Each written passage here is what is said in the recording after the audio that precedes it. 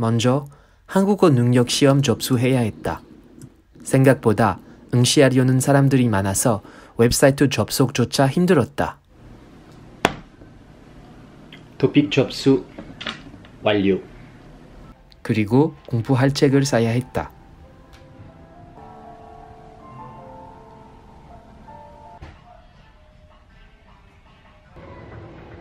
물론 집에서 이미 한국어 책이 한두 개 아니었다.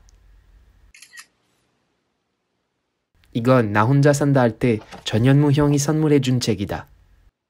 매일 아침에 일어나면 동네 커피숍에서 공부를 했다.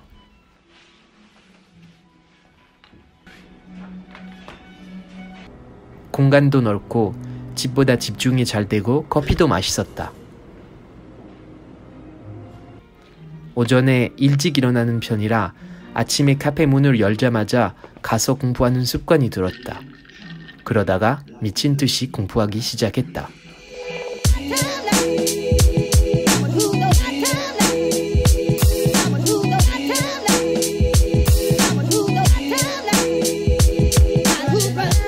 먹으면서 공부하기도 했고 집에서 가구에 포스트잇 붙여서 사자성어 외우기도 했다. 음.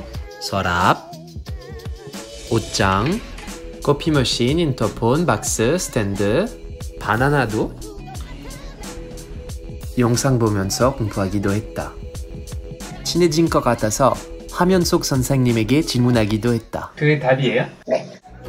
날씨가 좋으면 옥상에 올라가서 공부하는 날도 있었다. 아, 이런 날씨에 놀아야 되는데. 자, 오랜만에 젠말놀이 해볼까? 강장 공장 공장장은 강공장 공장장이고 촉촉한 초코칩 나라에 가는데 촉촉한 초코칩이 아니고 안 촉촉한 촉촉 촉촉촉촉촉촉 토픽 시험은 세 가지로 나누어지는데요. 듣기, 쓰기, 읽기. 문제는 쓰기예요, 쓰기. 이건 나의 손글씨다. 연습해야겠다.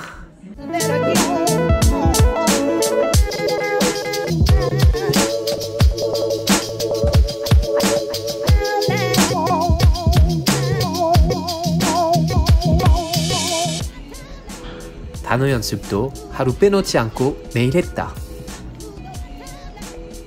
물론 때로는 공부하기 싫을 때가 있었지. 피곤하기도 하고 설상가성으로 아플 때도 있었다. 아, 피곤해. 공부보다 재밌는 게 진짜 많은 것 같다. 만화책, 카톡, 인스타그램, 그림, 축구 게임. 하지만 스스로 규칙을 세워야 했다. 밥이야 정신 차리자. 많은 시간을 투자해서 이렇게 연습하고 노력하는 게 단순히 시험 붙으려고 하는 것이 아니었다. 내가 공부를 통해서 얻은 것이 나한테 무기이기 때문이다. 기회라고 생각하기 때문이다. 내가 똑똑해질 수 있는 기회. 내가 더 나은 사람이 될 수 있는 기회이기 때문이다. 길게 보면 지금 열심히 공부하면서 보내고 있는 시간이 내 인생을 바꿀 수 있는 좋은 기회라고 생각한다.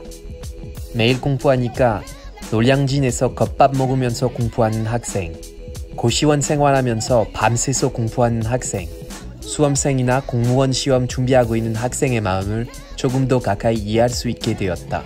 그러다가 시험 날짜가 다가왔다.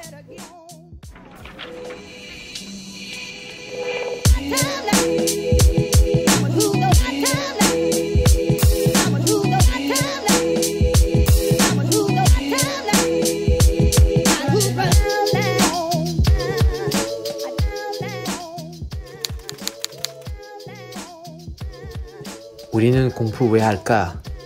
부모님이 하라고 하니까? 남들이 다 한다고 하니까? 아니면 사회적인 압박감이 강하니까? 스스로 뭘 원하는지 생각하는 게 중요한 것 같다. 공부는 자신을 위해서 하는 거다. 내가 좋은 학교 가고 싶어서. 내가 좋은 직장을 얻고 싶어서. 내가 꿈이 있기 때문에 공부하는 거다. 내가 행복해지고 싶기 때문이다.